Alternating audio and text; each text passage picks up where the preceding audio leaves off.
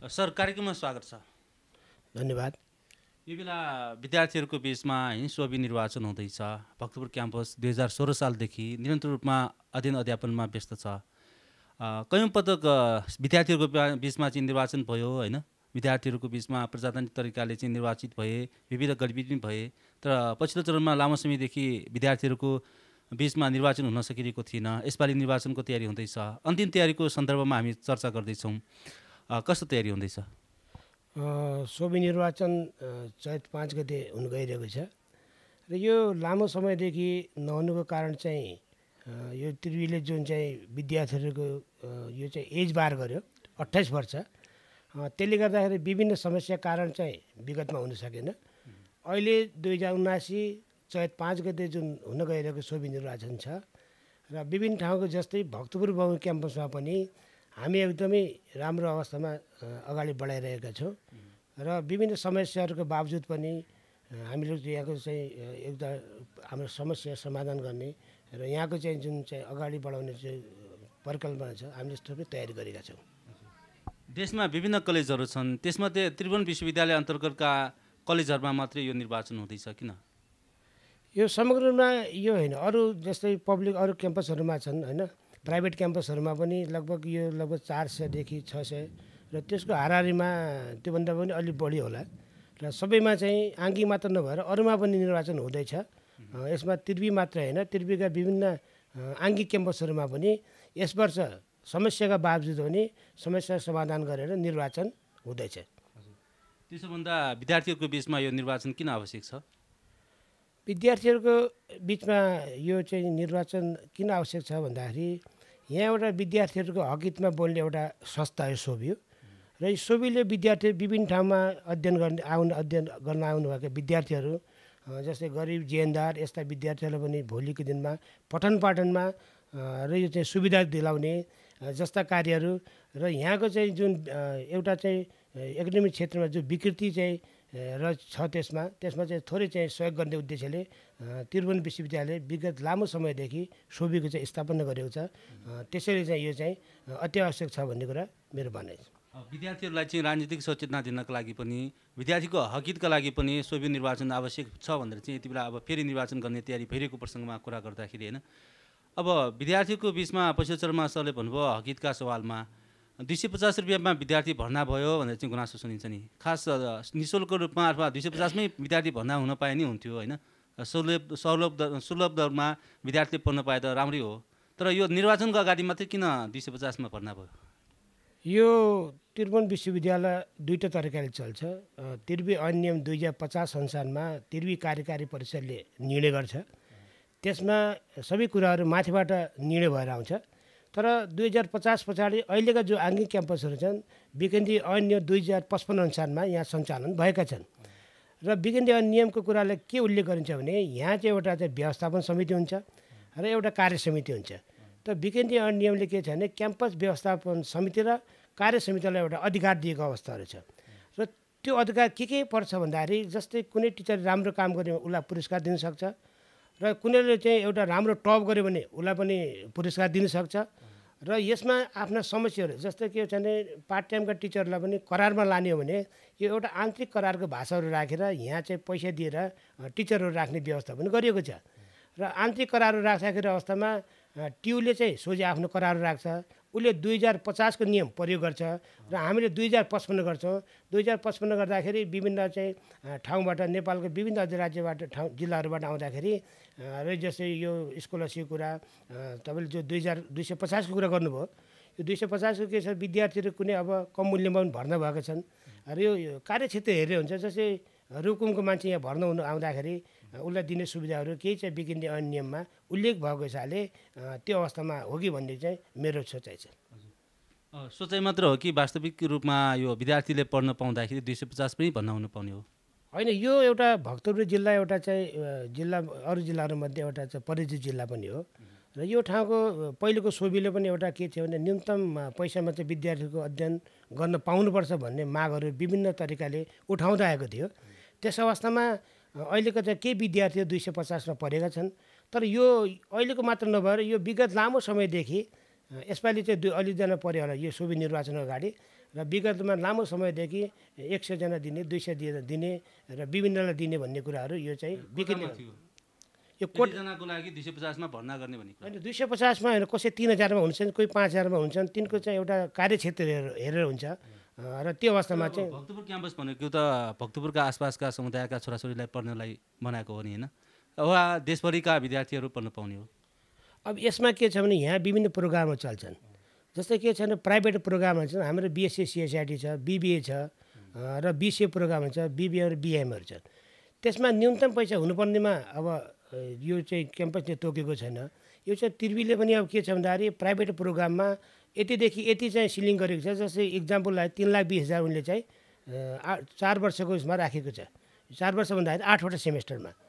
र तिनलाई बिस राखेर त आङ्गी क्याम्पसको सवालमा त्यो हुनसक्छ अब चाहिँ महँगो हुनसक्छ।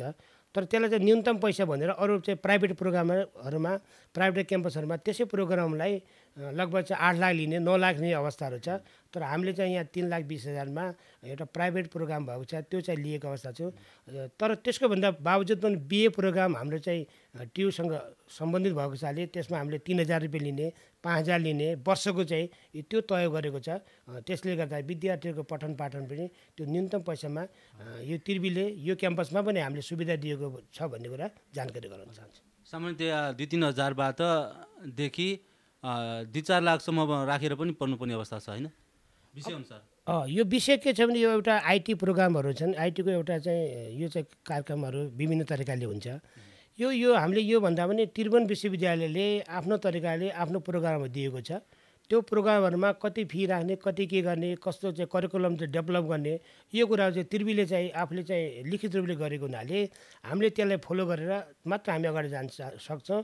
र मैले अघि पनि भने त्रिवी ऐनको दुई हजार पचास नभए दुई हजार पचपन्न अनुसारमा चाहिँ यहाँको प्रोग्रामहरू चल्छन्। यहाँको चाहिँ टिचरहरूलाई राख्ने व्यवस्थाहरू हुनसक्छ। यहाँको चाहिँ आन्तरिक करारहरू राख्ने व्यवस्था हुनसक्छ। कर्मचारीको व्यवस्थापन हुनसक्छ। यी कुराहरू दुई हजार पचपन्न अनुसार भएको हुनाले हाम्रो क्याम्पस चाहिँ त्यसमा चाहिँ आधारित छ। अब अहिलेसम्ममा भक्तपुर क्याम्पसले के कस्तो विषयहरूको अध्ययन अध्यापन गर्न सफल भइरहेछ? विगतमा यो क्याम्पस सबैभन्दा पुरानो क्याम्पस हो। दुई हजार सोह्र सालमा इस्टाब्लिस भएको क्याम्पस हो। पहिले पहिले प्रोग्रामहरू कमै थिए। पहिले सबभन्दा पहिले बिए मात्र थियो। त्यसपछि बिबिएस भयो। त्यसपछि अरू प्रोग्रामहरू आए। होइन त्यस पछाडि अहिलेको पछिल्लो जन सन्दर्भमा के छ भन्दाखेरि नयाँ प्रोग्रामहरू जस्तै बिबिएको प्रोग्राम छ। बिबिए पछाडि एउटा बिबिएम बिएमहरू छ। बिएससी सिएसआइटी छ। बिआइटी छ। अनि बिसिए प्रोग्राम पनि छ अनि अरू प्रोग्राम पनि चलेको छ। र अहिले के छ भन्दाखेरि एउटा त्रिवीले चाहिँ एउटा राम्रो कार्यक्षेत्र के ल्याएको छ आइटी प्रोग्रामहरू राम्रो चलाएको छ जसले गर्दा विद्यार्थीहरूको पठन पाठनदेखि लिएर भोलि राम्रो जबको सेक्युर पनि छ। विदेश जाँदाखेरिको आइटी पढेको विद्यार्थीहरूले विदेश गएर आफ्नो चाहिँ राम्रो अध्य शिक्षा अध्ययन गर्न सक्छन्। त्यसमा चाहिँ एउटा चाहिँ यहाँको एउटा चाहिँ एउटा ज जरोको तरिकाले काम गरिरहेको छ। त्यसो भन्दाखेरि विद्यार्थीहरूलाई विदेश पठाउने यो प्रमाणपत्र वितरण गर्ने थलोको रूपमा कलेजहरू विद्यालयहरू कलेजहरू होइन विकास भइरहेको छ भन्ने कुराको पुष्टि गर्नुभयो त। अब उहाँले चाहिँ स्वदेशमै होइन स्वदेश निर्माणका लागि स्वदेशमै रहनका लागि प्रेरित गर्ने काम कति गर्न सके यो उच्च शिक्षा हासिल गर्ने भनेको के छ भने नेपालमा भएका प्रोग्राम प्रोग्रामहरूमा अध्ययन गर्ने हो। जस्तै के छ आइटी पढ्यो भने एमएससी आइटी नभएको अवस्था पनि हुनसक्छ। मैले त्यो सन्दर्भमा जस्तै बिएससी सिएसआइटी यहाँ पढिसकेपछि ब्याचलर पढिसकेपछि कुनै विद्यार्थीले अब चाहिँ माथिल्लो हायर एजुकेसन पढ्न सक्ने भनेको एमएससी आइटी हो। त्यो चाहिँ नेपालको कन्टेक्समा नेपालमा नभए चाहिँ उसले विद्यार्थीले विदेश पढ्ने भनेको त्यो सिलसिलामा हो। मैले नेपाली चाहिँ अब चाहिँ यहाँ नेपालमा नपढेर नेपालमा चाहिँ प्रणाली शिक्षा प्रणाली भएको अवस्थामा नपढेको भन्ने खोजेको होइन। त्यसमा चाहिँ के भने हायर एजुकेसन पढ्दाखेरि त्यो कोर्स नभएर विदेशमा पढेर त्यो फेरि त्यो विद्यार्थी नेपालमा आएर नेपालमा चाहिँ आइटी क्षेत्रमा राम्रो काम गरोस् जसले गर्दा देशको पनि डेभलप होस् एकाडेमिक क्षेत्रमा पनि डेभलप होस् भन्ने कुरा उद्देश्य अनुसार भन्न चाहेको भनेपछि विद्यार्थीहरूले चाहिँ चाहे अनुसारको पढाइ गर्नका लागि भक्तपुर क्याम्पसले पनि विविध विषयहरू पढाइरहेको छ होइन? आज हामी चर्चा गर्दैछौँ सोभि निर्वाचनको। विगतका वर्षहरूमा जति विद्यार्थीहरू आकर्षित हुन्थे पढाइका लागि आउँथे यो सोभि निर्वाचन भएपछि त्योभन्दा धेरै गुणा बढी चाहिँ विद्यार्थीहरू भर्ना हुँदो रहेछ। यो दुई सय पचास रुपियाँमा विद्यार्थी भर्ना हुन पाएपछि त धेरैले भर्ना भयो होला नि होइन? कतिजना थपी? यसमा के हो भन्दाखेरि म तपाईँलाई के अनुरोध गर्न चाहन्छु भने हाम्रो क्याम्पसमा जम्मा एक्काइसजना दुई सय पचासमा भर्ना भएका छन्। एक्काइसजना? यसमा म तपाईँलाई मैले भनिहालेँ सङ्ख्यात्मक विद्यार्थी सङ्गठनहरूको कोतामा हो कि विद्यार्थी स्वयं उपस्थित भएर मात्रै भएको यसमा के हुन्छ भने एउटा प्रक्रिया हुन्छ। विद्यार्थी कुन जिल्लाको हो जस्तै दैलेखको मान्छे तिन चारजना भर्ना भएको देखिएको अवस्था छ। यो जिल्ला अनुसारमा त्यसको आर्थिक अवस्था कस्तो छ त्यो अनुसारमा चिफ सरले एउटा चाहिँ विकेन्द्रीकरण ऐन दुई हजार पचपन्न अनुसारमा उहाँले एउटा सुविधा दिएको अवस्थाहरू छ। र त्यहाँ दैलेखको मात्र नभएर जस्तो भक्तपुर पनि यो लोकल पनि चार पाँचजना परेका छन् दुई सय पचासमा परेका छन्। त उनको पनि के कार्यक्षेत्र होला? एउटा चाहिँ उनको पनि के गरिबी कारण होला के होला? त्यसले गर्दाखेरि त्यो पैसाहरू चाहिँ जस्तै दैनिकले दुई सय पचासमा दियो भनेपछि भक्तपुरले दिनु हुँदैन भन्ने कुरा त होइन तर उसको पनि त्यही चाहिँ भनौँ क्राइटेरिया मिलेको हुनाले मापदण्ड भन्दाखेरि अब कस्तो अवस्था छ उसको बुवा जागिरी कस्तो छ उसको घराइसी स्थिति कस्तो छ भन्ने अवस्थामा चाहिँ केही सुविधाहरू दुई हजार पचपन्न दिएको हुनाले यसमा चाहिँ मापदण्डको कुराहरू भएको छ त्यस हिसाबले यहाँ अनुसार विद्यार्थीहरूलाई एकैसनामा भर्ना गर्नुभएको छ दुई सय पचास रुपियाँमा भनेर यहाँले पुष्टि गर्नुभयो होइन? अब दुई सय पचासमा त्यो भएको हो त्यो हामी कहाँ हामीले पनि निर्वाचनको सिलसिलामा विद्यार्थी सङ्गठनबाट यो कुराहरू उठ्यो। के कस्तो यसमा विद्यार्थीको माग अनुसार भयो विद्यार्थीहरूले यो निवेदन दिनुभयो। त्यसपछि हामीले चाहिँ निर्वाचन भनेको त के हो भने हामीले त्यहाँबाट आएको नामावलीमा निर्वाचन गर्ने हो। कुन विद्यार्थी भर्ना हो कि होइन भन्नु भन्दा त्यो विद्यार्थी हो कि होइन त्यहाँ जेन्युन कोही विद्यार्थी तिन लाख बिस हजार तिरेको छ कोही विद्यार्थी तिन हजार तिरेको छ कसैले दस हजार छ कसैले दुई सय पचास तिरेहाल्यो कहिले आठ सय तिरेहाल्यो कहिले बाह्र सय तिरे हुनसक्छ है त्यो के हो भने क्याम्पस प्रशासनसँग अ, सम्बन्धित हुन्छ। तर हामीले के मात्र हो भने बाइचान्स कुनै निर्वाचनको प्रक्रियामा कुनै विद्यार्थीको विरोध कार्यक्रम आयो विरोध यो विद्यार्थी होइन भनेपछि हामीले निर्वाचन समिति निर्णय गरेर प्रशासनमा पठाउँछ यो विद्यार्थी अब के हो भर्ना भयो कि हो कि होइन? यो यदि विद्यार्थी हो भने यसलाई चाहिँ तपाईँको प्रमाणित गरेर हामीलाई दिनु भनेपछि उसले पत्राचार गर्छ। पत्राचार गरेको हिसाबमा हामीले नामावलीभित्र उसको नाम चाहिँ हो के हुन्छ र हामीले त्यो दिएको सङ्ख्यामा मात्र हामी निर्वाचन गर्छौँ र चाहिँ त्यहाँको विद्यार्थी अवैध विद्यार्थीहरूको उसमा चाहिँ हामीले निर्वाचन गर्दैनौँ। अब वैध अवैध भनेको भर्ना भएको नभएकोमा बाट नै पुष्टि हुन्छ नि होइन? अनि वैध अवैध भनेको के हो भन्दाखेरि मान्छे अब चाहिँ बिना कार्ड बिना चाहिँ कुनै ठाउँमा चाहिँ अब रसिदै नलिएको जस्तै के हो भन्दाखेरि रसिद भन्दाखेरि अब मैले भनिहालेँ नि जस्तै तिन लाख बिस हजार पनि तिरेको छ दस हजार पनि तिरेको छ पाँच हजार पनि तिरेको छ कसैले तिर्नु पनि बाँकी छ भर्ना भएको छ पाँच सय तिरेको छ उसले तिर्नु पनि तिन हजार छ उसको पत्र पनि हुनसक्छ त्यहाँ। किनभने त्यो गरिबी कारणले विद्यार्थीले पैसा नतिरेको पनि हुनसक्छ। तर उसले के गर्छ भन्दाखेरि पछि चाहिँ फर्म भर्ने बेलामा त्यो तिन हजार रुपियाँ उसले चाहिँ त्यहाँ चाहिँ तिर्छ। र तिन हजार तिरेपछि उसको पैँतिस सय रुपियाँ छ भने पाँच सय पहिले तिरेको छ तिन हजार पछि तिरेको छ भने पैँतिस सय रुपियाँ उसले क्लियर गर्छ उसको फर्म भरिन्छ। त्यो त विद्यार्थीको गरिबी कारणले यस्ता कुराहरू यो चाहिँ नभएको होइन भएको अवस्थाहरू छ। र अर्को के छ भने जस्तै परीक्षा दिने सिलसिलामा यहाँ के छ भन्दा जस्तै बिएससी सिएसआरटी बिबिएको प्रोग्रामहरू पनि अब विद्यार्थी गार्जियनहरूसँग त्यति पैसा एकैचोटि हुँदैन। विद्यार्थी के सेमेस्टर भनेको छ महिनाको हुन्छ। त्यति बेला इक्जाम दिँदाखेरि विद्यार्थीले पैसा नतिर्न सकेको अवस्थामा भने उहाँहरूले चाहिँ निवेदन दिएर अहिले मसँग पैसा छैन। म जहाँ दिएपछि म चाहिँ अर्को सेमेस्टरमा तिर्छु भनेपछि त्यो अवस्थामा पनि विद्यार्थीको पठन पाठनलाई अवरुद्ध नहुने गरेर क्याम्पस प्रशासनले त्यो चाहिँ अवस्था व्यवस्था गरेको अनुभव छ। भन्नुको अर्थ चाहिँ अब पैसाकै कारणले चाहिँ विद्यार्थीले पढ्न नपर न पढ्न नपर्ने नपरोस् भनेर चाहिँ यहाँले व्यवस्थापन गर्नुभएको छ। अब यो निर्वाचनको सन्दर्भमा होइन कुन विद्यार्थी वैध कुन चाहिँ अवैध भनेर चाहिँ कसरी छुट्याउने कतिजना विद्यार्थीहरू निर्वाचनमा मतदाताको रूपमा उम्मेदवारको रूपमा उभिएको देखिन्छ? अब यसमा वैध अवैध मैले तपाईँलाई भनिहालेँ जस्तै भर्ना नभएको विद्यार्थी मैले तपाईँलाई भने विद्यार्थीले भर्ना हुँदाखेरि अवस्थामा उसले पाँच सय तिरे पनि म चाहिँ फलानु उसमा भर्ना हुनु पाऊँ। मैले तिर्नुपर्ने जस्तै पाँच हजार भने पाँच सय तिरेपछि चार हजार पाँच सय म चाहिँ पछि तिर्नेछु भने चाहिँ निवेदन दियो भने क्याम्पस प्रशासनबाट त्यसमा तोक लागेर निजको पछि चाहिँ चार हजार पाँच सय पछि तिर्ने गरे भर्ना गरिदिनु भनेपछि त्यो विद्यार्थीले तिर्नुपर्ने पाँच हजार हुनसक्छ। तर पाँच सयमा विद्यार्थी त्यहाँ चाहिँ नाम रजिस्टर भयो भने त्यसलाई चाहिँ अवैध भन्न मिल्छ त्यसलाई वैध भन्न त्यहाँ चाहिँ मिल्छ। उहाँहरू चाहिँ निर्वाचनमा आउन पाउँछ होइन? मतदान गर्न पाउँछ। अब अहिले म मनोवधिमा हामी कुरा गर्दै गर्दा समग्रमा अहिलेसम्म कतिजना विद्यार्थीहरू मतदाताको रूपमा उभिने भए होइन? त्योसँगै कति विद्यार्थी सङ्गठन वा उम्मेदवारहरू चाहिँ मैदानमा छ यसमा हामीसँग जम्मा चार हजार एकजना विद्यार्थी सङ्ख्या चाहिँ प्रशासनले हामीलाई उपलब्ध गराएको छ। र अन्तिम नामावलीमा हामीले चाहिँ हेर्दाखेरि पनि हामीसँग चार हजार एक नै हाम्रो चाहिँ प्रमाणित भयो। र यसमा यहाँ चाहिँ हाम्रो सातवटा विद्यार्थी सङ्गठनले भाग लिएको छ। जस्तै नेभी सङ्घ भयो नेक्राबी भयो अनिरा सभी भयो अखिल क्रान्तिकारी भयो र भक्तपुर बौद्ध क्याम्पस स्पोर्ट्स ग्रुप भन्ने छ। एउटा राष्ट्रिय प्रजातान्त्रिक यो चाहिँ सङ्गठन भन्ने छ। र सातवटा सङ्गठनले यो चाहिँ भाग लिएको अवस्थाहरू छ। त्यसमा चाहिँ यता त गठबन्धन त छैन नि होइन? सबै स्वतन्त्र रूपमै उठिएको छ कि स्वतन्त्र भन्ने कुरा अहिले कुनै पनि छैन भक्तपुरमा क्याम्पसमा। त्यहाँ चाहिँ के छ भन्दा तिनवटाको एउटा चाहिँ एलायन्सी भएको छ एउटा सङ्गीत प्यानल बनेको छ। त्यसमा चाहिँ नेभी सङ्घ प्लस अ, अनिला छवि प्लस अखिल क्रान्तिकारीको एउटा सङ्गीत प्यानल छ। नेक्राबी एउटा चाहिँ अर्को छ। र त्यस पछाडि एउटा चाहिँ यो अखिल क्रान्तिकारी सङ्गीतको भन्ने छ। उहाँको पनि एउटा चाहिँ प्रत्यक्षमा उम्मेदवारी परेको छ र अरूको त्यस्तो उम्मेदवारी परेको छैन। स्वतन्त्र छैन। स्वतन्त्र छैन यसमा। सबैजना प्यान प्यानलमा अथवा सङ्गठित भएर मैदानमा उत्रिएका छन् सबै आपसमा सङ्गीत प्यानल र एउटा चाहिँ आफ्नो फरक तरिकाले नेक्राबी आफ्नो तरिकाले यो निर्वाचनमा चाहिँ अगाडि बढेको छ। सङ्गीत प्यानल आफ्नो तरिकाले अगाडि बढेका छन्। र त्योभन्दा बाहेक अरू चाहिँ अखिल क्रान्तिकारी सङ्गीत पनि आफ्नो तरिकाले उसले उम्मेदवारी दिएको छ। त्यो हिसाबले उनीहरू चाहिँ यो सोभि निर्वाचनमा चाहिँ आबद्ध भएका छन्। अब ती विद्यार्थी सङ्गठनले के कस्तो एजेन्डाहरू उठाएका छन्? विद्यार्थीको हकितको सवालमा भक्तपुर कलेज क्याम्पसको विकासका सन्दर्भमा कस्तो विषयवस्तुलाई उठान गरेको छ? उहाँले घोषणापत्रमा के के कुराहरू जनाएका छन्? अब यो अघि पनि मैले कुरा गरिसकेँ। विद्यार्थी यो सोबी भनेको सोबीले भोलिको दिनमा जो पदाधिकारी आउँछन् उहाँहरूले विद्यार्थीको पठन पाठन के कस्तो भइरहेको छ के के समस्याहरू छन् जस्तो खेलकुदमा समस्या छ कि यो पैसाको फीमा समस्या छ र फी भनेको के हुन्छ उहाँहरूले चाहिँ सोबी आइसके पछाडि न्यूनतम पैसामा पढाउनु पाउनुपर्छ भन्ने कुरा विगतको सोबीले पनि गरेको छ र अहिलेको आउने सोबीले पनि गर्छ भन्ने जस्तो मलाई पक्का अनुभव छ।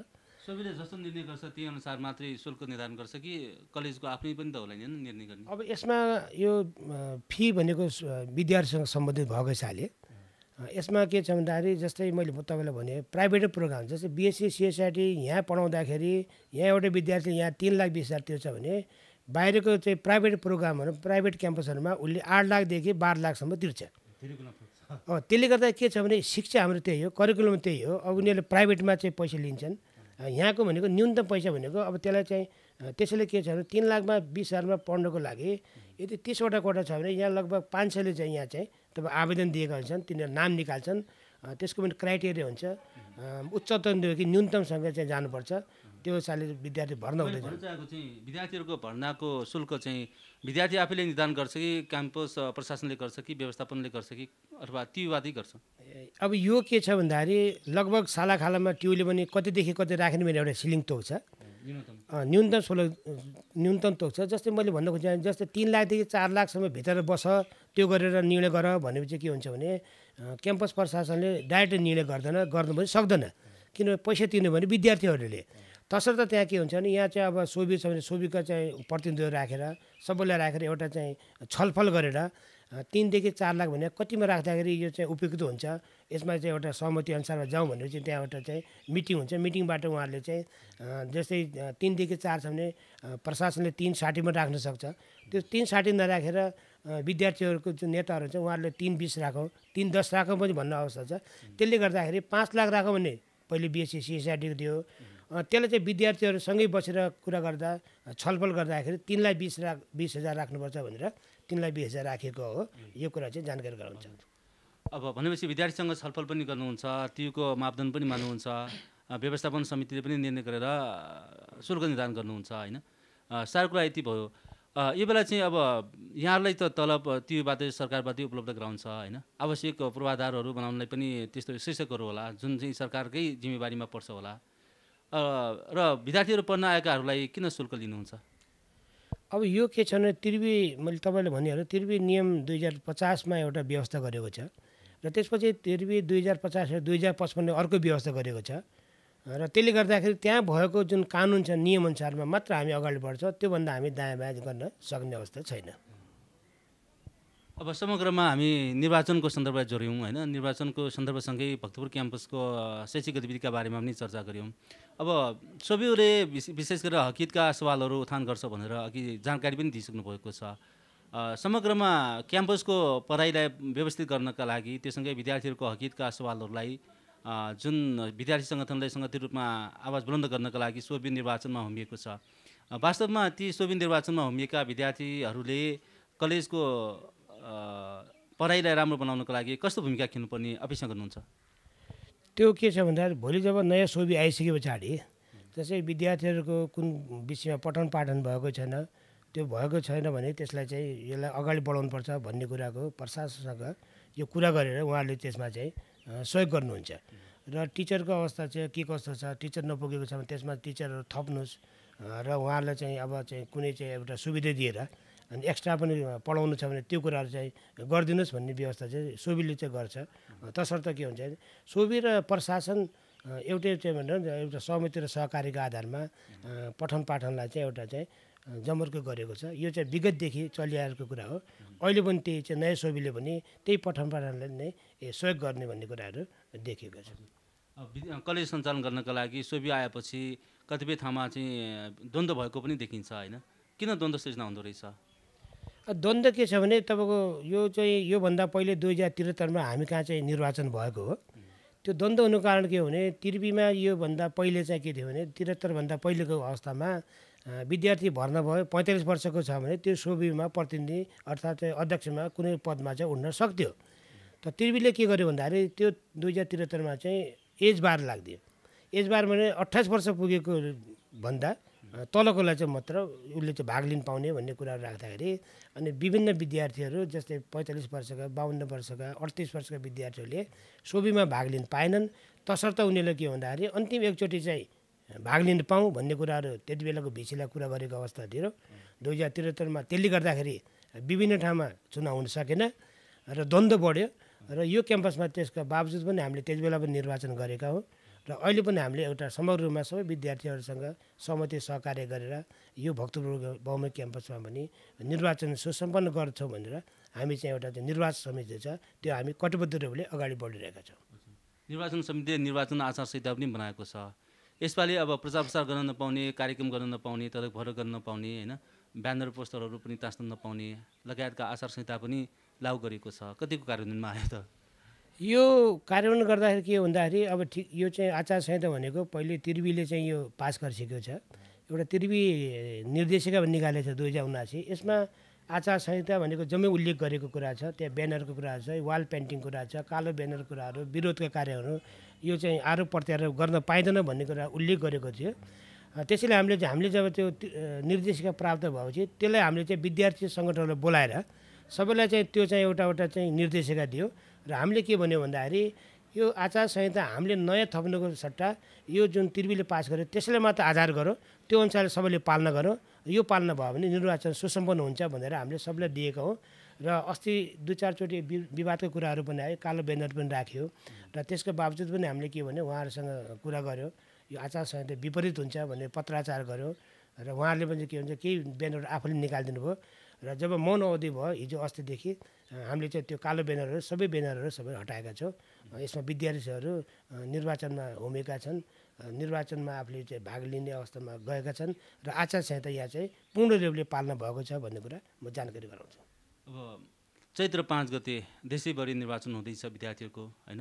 अब भक्तपुर कलेजमा चार हजार एकजना विद्यार्थीहरूले मतदान गर्दैछन्। सातवटा टिम मैदानमा छ होइन? उहाँहरूको मतदानको तालिका के छ? त्यो मतदानको तालिका त्यो भने अब यो विद्यार्थीहरू बिचमा कुन सङ्गठन कसरी चाहिँ भिजेको छ कसले कसरी भोट माग्छ कसको एजेन्डाहरू के छ कसले चाहिँ म यो जितेपछि कसरी जान्छु भन्ने कुरा त्यो उहाँहरूले आफ्नो तरिकाले विद्यार्थीहरूलाई कन्भिन्स गरेर राख्नु भएको छ। र विद्यार्थी पढ्ने विद्यार्थी पनि यो क्याम्पसमा ब्याचलर लेभलदेखि विद्यार्थीहरू पढ्छन्।